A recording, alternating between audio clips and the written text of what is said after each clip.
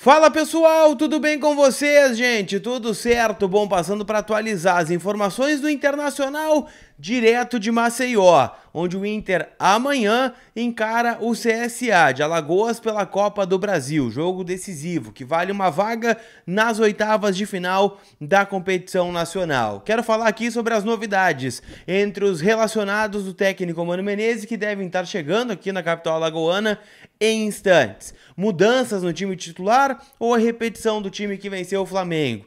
E uma novidade no mercado da bola de um jogador que interessa ao Internacional e que pode pintar no Beira-Rio na metade do ano. Te conto tudo isso depois da vinheta.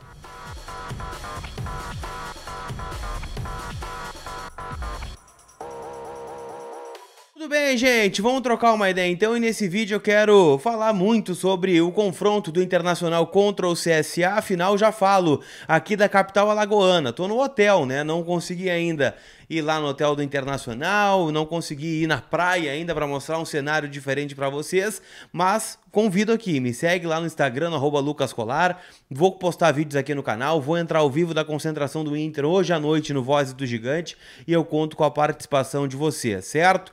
Porque é jogo decisivo, é decisão pela Copa do Brasil e o Inter vem com força máxima aqui para Lagoas para encarar o CSA, jogo de volta da terceira fase, o Inter que venceu por 1 a 0 no Beira-Rio e agora tem a vantagem do empate ou até mesmo de qualquer vitória, né, para chegar na próxima fase da competição. O CSA está mobilizado, né? Tem apenas este jogo, não joga inclusive desde o jogo contra o Internacional no Beira-Rio, né? Eles estão na Série C do Campeonato Brasileiro, ficaram fora dos estaduais logo na fase classificatória, na Copa Nordeste também foram um fiasco.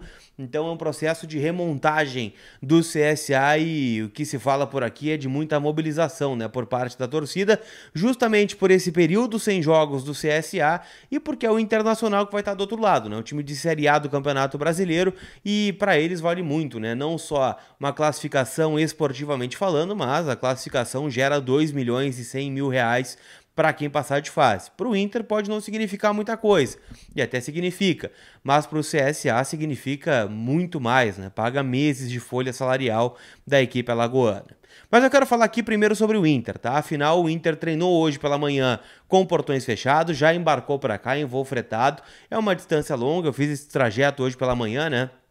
Levei cinco, eh, saí de casa às 5 horas da manhã de Porto Alegre, 5 e meia. Cheguei aqui por volta do meio-dia e meia, né? Então levei um. Claro, meu voo teve escala, né? Em Brasília o Inter vem direto, mas de qualquer forma, né? É um processo que demora um pouquinho, né? O Inter está atravessando o Brasil para jogar esse desafio pela Copa do Brasil. O Mano Menezes tem uma dúvida, na verdade, nesse time titular: se joga Maurício ou se joga Pedro Henrique. Eu tô apostando que joga o PH. Vou tentar colher mais bastidores hoje à noite, direto da concentração, mas a expectativa é pelo PH titular, certo? Como é que ficaria o time do Inter então? Com Kehler, Bustos, Kehler Bustos, né? Kehler, Igor Gomes, Mercado Vitão e René, Campanharo, que inclusive foi destaque né, das mídias do clube, o que dá a entender que ele vai continuar como titular. Ele agradou muito né, na partida de domingo contra o Flamengo. É, Johnny e Alan Patrick. Pedro Henrique ou Maurício, Wanderson e o Alexandre Alemão, pelo menos é a tendência de time titular do Inter é uma base do que venceu o Flamengo no fim de semana, né? 2 a 1 É claro que o Maurício foi o herói do jogo e isso não tem como ser descartado. O cara decidiu um jogo importante, né, pro Colorado, fez dois gols, saiu do banco, mas também o Inter pensa em conjunto, né? Esse jogo do CSA com o do Goiás, jogo domingo 6 e meia no Beira-Rio pela terceira rodada do Campeonato Brasileiro. E esse jogo, né, gente, é em casa, é, é bom começar ganhando o Campeonato Brasileiro para não se distanciar, apenas duas equipes fizeram 100% de aproveitamento até aqui na competição, Fluminense e Botafogo. Então, o importante é não se distanciar dos líderes. E o Inter tem uma sequência duríssima no Brasileiro. Goiás em casa, São Paulo fora, Atlético Paranaense em casa, Atlético Mineiro fora, Grêmio fora. Então, é tudo em sequência e não tem muito, né, como perder pontos neste começo. Vai ser tiro trocado e o Inter tem que fazer a melhor pontuação possível. Algumas questões na lista de, de relacionados. Eu estou gravando esse vídeo agora no comecinho da tarde, tá? Então, no momento que eu estou gravando, a lista oficial ainda não saiu. Mas o que, que a gente já pôde ver nas fotos divulgadas pelo clube, tá? O Fabrício Bustos está relacionado. Lateral que treinou com bola ontem, trouxe essa informação aqui para vocês. Ele está integrado. Se tinha uma expectativa que o Bustos voltasse depois do jogo contra o Nacional de Montevidéu, que é lá na outra quarta-feira. Então ele deve é, estar no banco de reservas amanhã, se não no time titular, com o Igor Gomes sendo preservado. Mas eu aposto, como eu disse, na escalação do Igor Gomes. Mas é uma surpresa, o Bustos voltando né, a estar à disposição. Não sei se as atuações do Igor Gomes movimentaram, né? Mandaram o Mário Fernandes embora, por exemplo. Não mandaram, né? Ele mandou, ele quis ir embora, né? Por ver que não estava tendo oportunidades e que não teria, né? Com o rendimento que vinha tendo é, e no comparativo com o Igor Gomes. E o Bustos volta no tempo recorde, né? Volta muito antes do esperado, muito antes do previsto. Então fica à disposição do Mano Menezes. Quem não vai estar à disposição são dois reforços, o Rômulo e o Gabriel Barros, que já jogaram a Copa do Brasil por outros clubes, pelo Ituano e pelo Atlético, e também né, não terá à disposição também o Mano Menezes, o Charles Arangues e o Gabriel, né, dois jogadores que estão aí no DM Colorado, certo? Qual a melhor escalação? Deixa aqui nos comentários, eu quero a tua opinião sobre este assunto.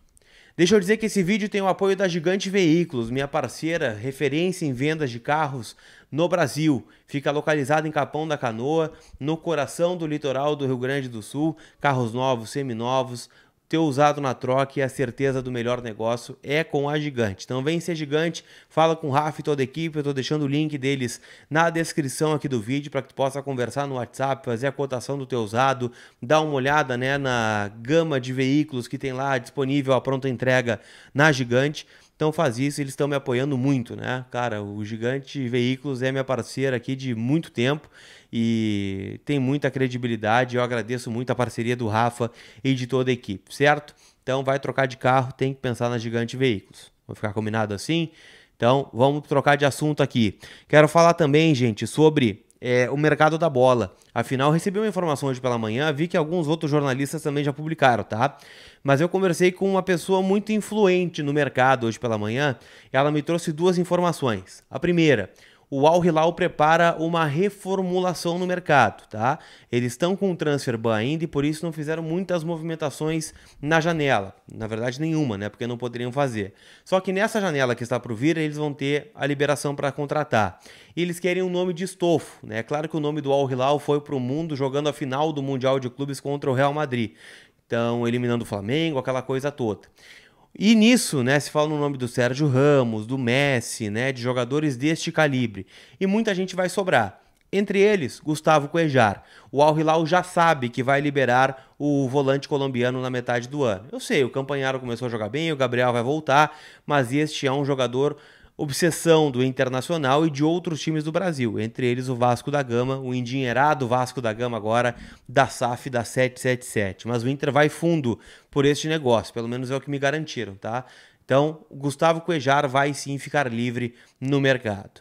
E a outra situação que até me pontuou, tá, foi sobre o Ener Valência, que segue tudo igual, tá? Não mudou nada. O Ener segue conversando com as pessoas do Internacional é, semanalmente, vamos dizer assim, né? Há um clima muito conturbado na Turquia com uma possível saída do Jorge Jesus, né, no final do contrato.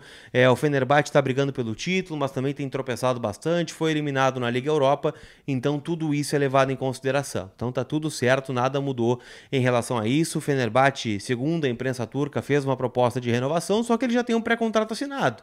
Se ele ficar no Fenerbahçe, tem multa, tem quebra de contrato, tem tudo isso. Então o Inter está precavido quanto a isso, pelo menos a informação que me passaram hoje no finalzinho da manhã. Beleza? KTO.com, minha parceira que me proporciona tá acompanhando o Inter aí pelo Brasil, pelo mundo. Então te cadastra na KTO lá hoje. Ontem faturei na KTO na Copa do Brasil, né? Coloquei na vitória do Furacão, foi sofrido, mas ganhou. É, na vitória do Cruzeiro, na vitória também do Fluminense. Hoje mais jogos, né? Hoje tem o drama é, do Corinthians contra o Remo, Flamengo em campo contra o Maringá.